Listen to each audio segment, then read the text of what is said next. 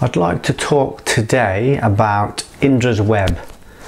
This is a theological idea that everything in the world, in the universe, in the cosmos is connected like a like a spider's web. Everything links to everything else.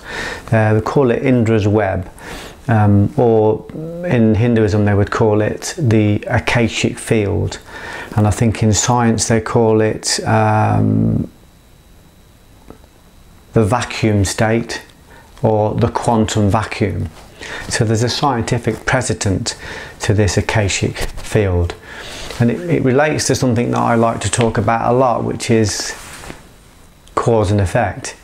Everybody thinks that cause and effect doesn't work. But of course, if you give it even a little bit of inquiry, you'll realize that of course it does work. Religion um, and faith has always told us that it works. It's always said it works. It's always said that what you give out will return. It cannot return. It cannot not return. And even if we think we've escaped it, the you know our skin will speak a testimony against us because we store our karma, you know what we've done, what we've thought and said and done, in every cell of our body. There's a record of it. I've seen this. I've, I've, it's not something I want to prove to people. It's just something I know. It's, I've got proof in my own life. I've seen it in my own life and I've seen it with all the people around me. so I've always been interested in cause and effect because I've always recognised that if we are able to understand cause and effect, if we understand that what we think today, what we say today, what we do today is what's going to determine our future tomorrow. This is what it says in the Dhammapada. What we have today is as a result of what we thought yesterday. What we have tomorrow will be as a result of what we thought today. So if we fully immerse ourselves you know, with all our with all our senses into a thought of something, we create that in the living world. And although uh, people often deny this, you know, this is kind of a, it's a secret that's hidden in plain sight. It's actually very true. And even the people that say, well, if that's true, why am I living such a dark life? Why am I living such a negative life? Why am I living in poverty? Why can't I get work? Why can't I make money? You know, why can't I uh, get a relationship? Why can't I be healthy? Um, that's because with most people I meet, all they talk about all, all the time is, you know, I've, I've, talked to a lot of people who can't make any money and they keep telling me within the, within the space of a five minute conversation, they might tell me 10 or 20 times that there's no money out there. They can't get a job because the economy is terrible. Um, and, and they, you know,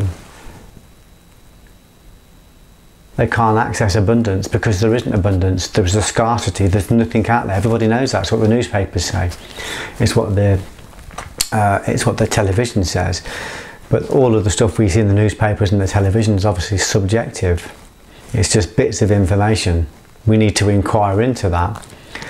So this this idea that there's not enough is a false idea. There is an abundance out there there is an abundance that we can create from. And when we create from that abundance and we take abundance from abundance, the abundance still remains. So, this concept of Indra's web isn't what I like about it is that it's not just talking about cause and effect, that what we do has a consequence. It's, it's actually saying that, you know, there is not even a time gap.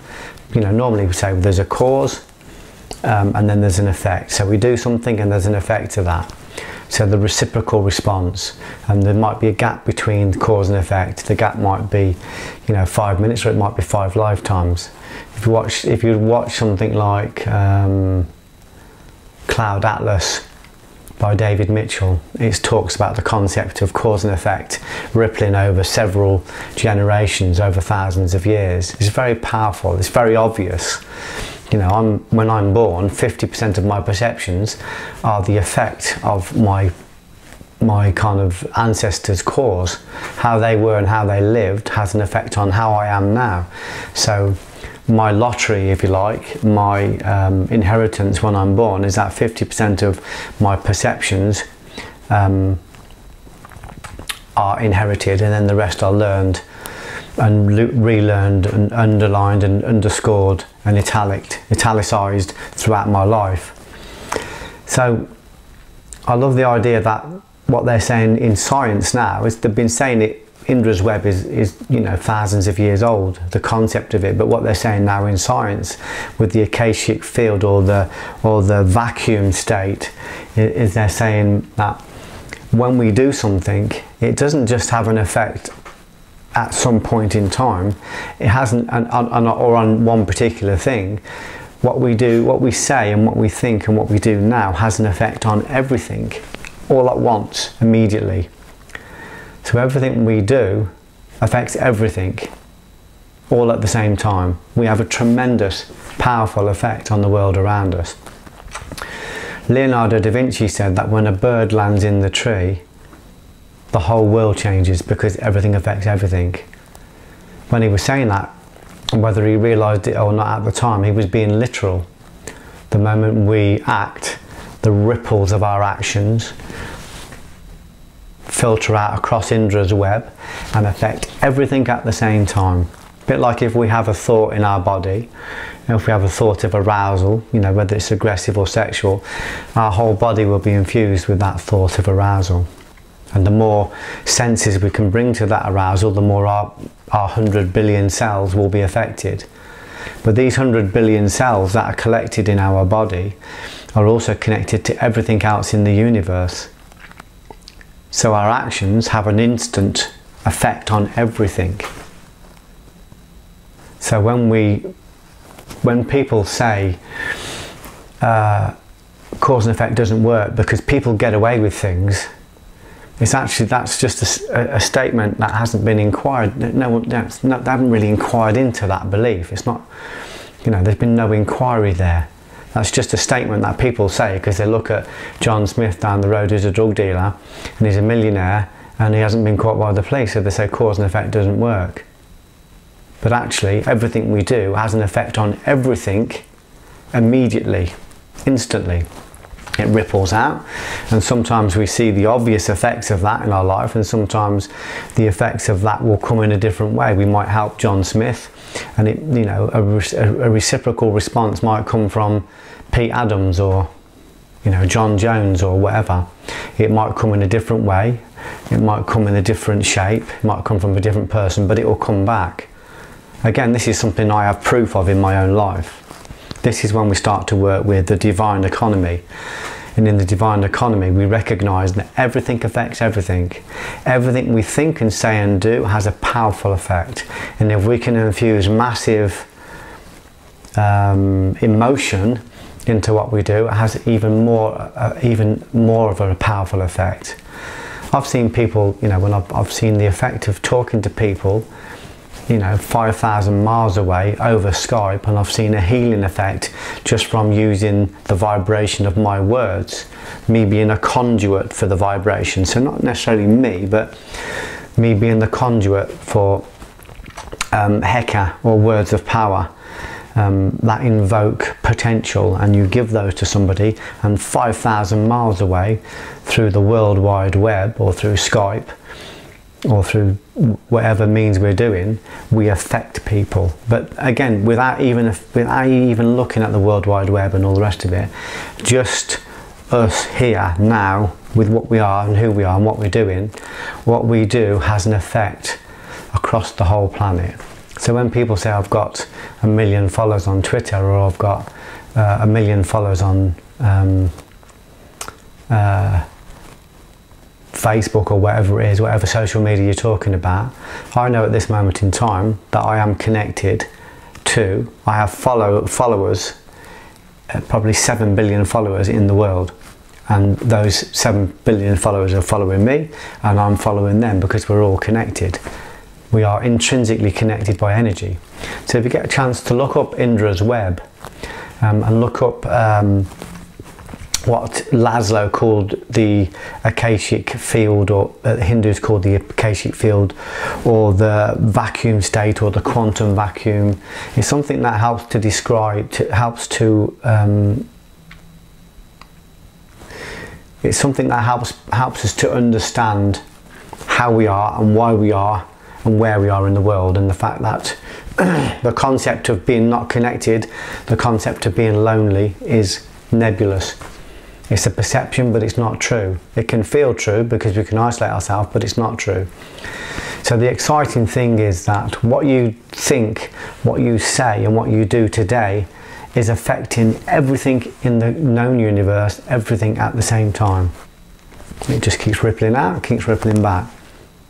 Once you understand that, you start to think more responsibly about what you do, which is my, my book, The Caretaker, which is um, the I'm not sure when you're going to be watching this, but it's it's coming out um, in June of 20 June of 2014.